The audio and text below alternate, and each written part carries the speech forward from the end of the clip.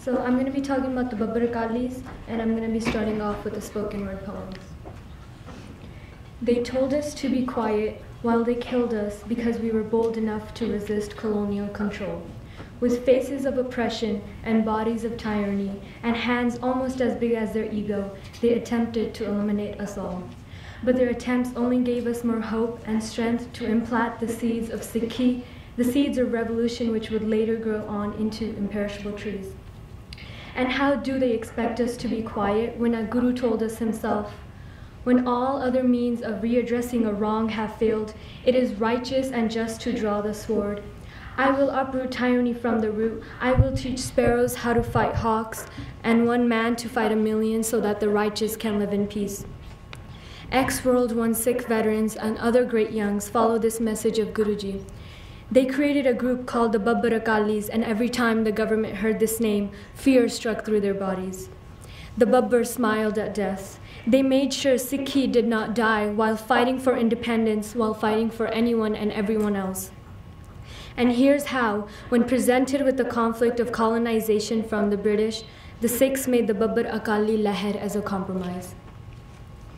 India in the 1800s was filled with magnificent palaces, fine jewelry, extraordinary art, spices, cotton, and an amazing manufacturing system. India was a vastly rich country, which is why it was called Sonedi Chidi, meaning golden bird. Britain has, had been trading with India since the 1600s through the East Indian Company, and they have never wanted territory in India until now. But how did the British control India from 1757 to 1947? With great weaponry, a strong profit motive, and Eurocentric confidence. By 1700, heavy company taxation and other policy, policies had left millions of Indians impoverished. The British soldiers and traders became richer and richer while the Indians starved. The British started to establish their troops over areas in India. Nonetheless, they started to colonize India.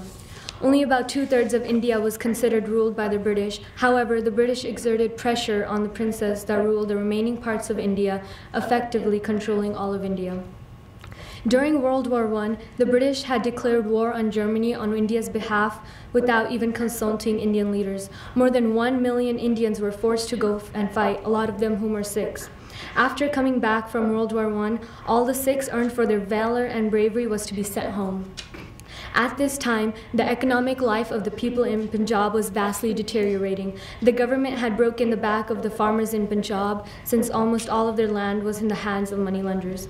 When the veteran Sikhs saw this, they went to go protest. This event was known as the Jallianwala Bagh or Amritsar massacre, which took place in April 13, 1919 where hundreds were killed. The weight of oppression and being peaceful was just too much on the Sikhs now. The Sikhs could not bear this economic destitution anymore. They could not bear the disrespect of their religious places. The Sikhs' beliefs had been well entrenched within the Sikhs, and they knew that being peaceful was not going to get them anywhere. And what added more to their raging fire was a newspaper called Akali from Lahore starting in 1920. This newspaper is very crucial because it was an eye opener to the people. A lot more people understood what was going on, and they were not happy. The government started placing Mahants to be in charge of Gurdwara. Mahants were non-Sikhs, usually Hindu. In 1920, a lot of Gurdwaras such as Sri Akal Takht Sahib and Harmandir Sahib were taken from the Mahants and handed over to Panthic committees since the Sikhs did not want Mahants controlling Gurdwara. Gurdwara are not supposed to have committees, but this is just one of many examples of how the British Raj had affected Sikhi long term. Gurdwara, oh the British obviously loved the Mahants, so they started to support them and grant them favors. The Mahants were still controlling Taran Taran Sahib, so in 1921, the peaceful Akalis went and tried to reason with the Mahants. And at the same time, the Mahants attacked the Akalis, resulting in many deaths. The same thing happened in Nankana Sahib in the same year, 1921, where more than 100 Akalis received Shahidi or martyrdom. However, the Sikhs could not be suppressed, so Nankana Sahib was also handed over to Sikh committees. After many peaceful protests and trying to be reasonable, the Sikhs realized that they should end this peaceful compromise because it was not getting them anywhere. Even peaceful processes have a limit. Therefore, they, therefore, they started bear, bearing arms because, from what Guruji says, it is now righteous and just to draw the sword. So, after all this conflict, the Babbar Akali Leher or movement was established as a compromise, seeing that remaining non violent was not ending the government's barbaric ways. Now weapons were the answer to subjugation and repression the people faced. The Babbars started spreading their views in a very active way by preaching from town to town. These six preached for hours throughout numerous villages. They were followed by the police, who had even issued arrest warrants on these six. However, the police were always frightened of the Babbars. The government saw these preachings as a major threat and started having their own peaceful gatherings. And they told the people, our government has turned into, into a heaven. They have established post offices, hospitals, and schools. They have controlled all thefts and societies and established a reign of peace and prosperity. Carry gold in your arm and no one will look at you. A few unwise and foolish people are roaming about the villages who are propagating they will bring the rule of the Khalsa and bring their own form of prosperity. They preach pillaging the houses of the rich and killing the gentlemen. They loot the travelers and snatch the food from the women who carry it to the fields. Do not come in to talk to the Babbars and spoil the peace of land. Instead, report about them to the government and earn an honorable name for yourselves. This, of course, had no effect on the people, for the people knew this was false.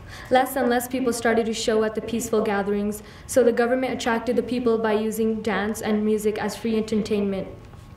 The Jatha, or the Sikhs, used these peaceful gatherings for their own propaganda.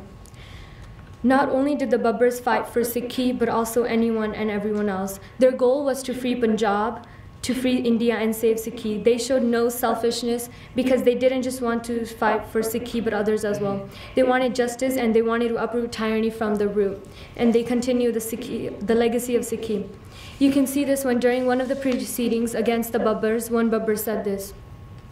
Whatever we did, it was not meant to save our lives. We had reformed the enemies of the Panth and those who had deceived and harmed it. Our brothers and sisters were fighting a peaceful battle. We have fought battles as were fought by Sri Guru Har Gobind Sahib and Guru Gobind Singh Ji. We have done nothing against the tenets of Sikhi. When our gurus did not care for their lives, who were true emperors and masters of the two worlds, what concern could death have for us? It's true because when they were about to be killed, the Babbar smiled and kissed the noose of death. This was just one of the many reasons the government was afraid of the Babbars. Another was how one Babbar could fight 30 or 50 or even more soldiers before dying. And it's just like how Guru Gobind Singh Ji said, Sawa lakh se ek ladao, tabe Gobind Singh naam kahao, meaning 150,000 will fight one, then call me Gobind Singh.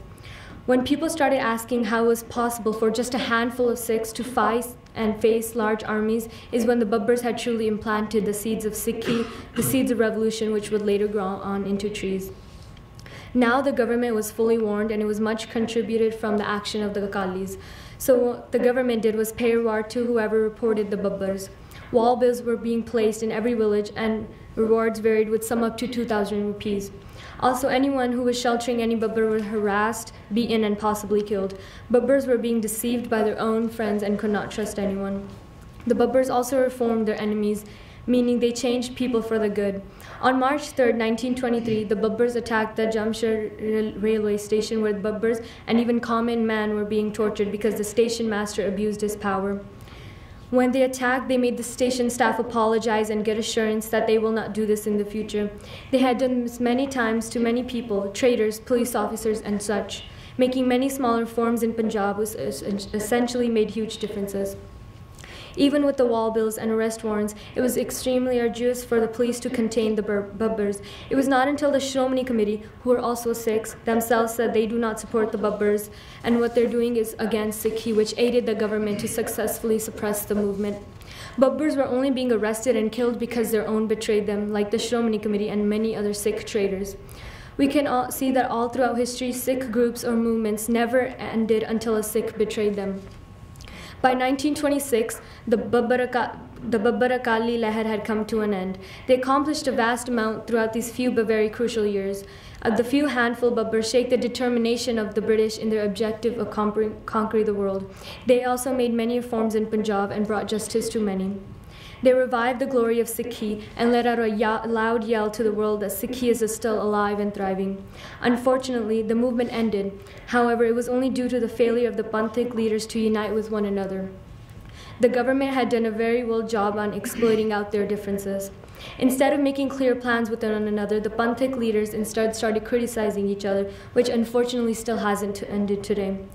If the, Sindh, if the Sikh Panth had ekta, which is unity, if we looked at our similarities rather than a few differences, then just imagine how the Panth could be. Vaheguru Ji Ka Khalsa, Fateh.